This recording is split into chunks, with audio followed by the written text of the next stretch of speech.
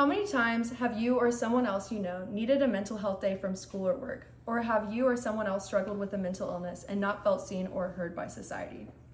Mental health is becoming a rising issue in our society today. Yet a good portion of society is completely unaware of the issue or they just don't know how to help. Our society needs a better understanding and awareness of mental health to help create a better mental health environment for ourselves and others. Mental health awareness starts first and foremost at home. Whether yourself, your roommates, or your family is dealing with a mental illness, it is good to educate yourself on how to help others or yourself. Creating a safe environment at home is extremely important because that is where society, we as society spend most of our time. If you don't have a safe place to land at the end of each day, it can negatively affect your mental health. Secondly, the education system is actively bettering their mental health facilities. However, they need to be continuously furthering their resources for students so that they can thrive in school. Middle, high school, college, and post-college schooling are some of the most stressful and challenging years for a lot of students. A lot of times, students don't know how to deal with mental illness or even know that they are struggling with it. These early years of life are extremely important, are extremely important times. I know for myself, when I first got to college, I felt extremely alone and honestly didn't really know where to go to, or even how to ask for help from my roommates or just the college in general.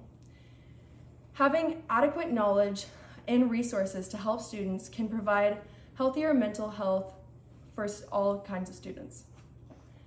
Thirdly, the workforce in our society is not yet equipped with the knowledge and proper resources for mental health for their employees. There are so many employees in corporate America that are struggling with mental illness and they aren't able to get the proper help that they need. They are under constant pressure and stress to be uber successful in the corporate society that we have a society created. Everyone is just worried about making the most money and honestly, corporate offices, they don't allow mental health days, they don't allow mental health resources in their companies. Mental health is so important to the overall health in America and furthering our knowledge on how to deal and understand with mental illnesses can help create a more united society. Mental health starts at home, then transitions into the education system, and then the workforce. Learning how to provide education and resources to people can help create a healthy environment for everyone.